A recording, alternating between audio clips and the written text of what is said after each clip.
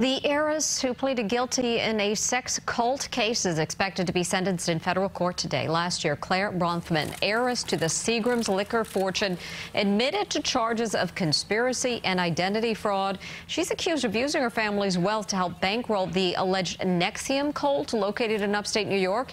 Prosecutors have asked the judge to sentence Bronfman to five years in prison. Her attorneys are asking for three years probation.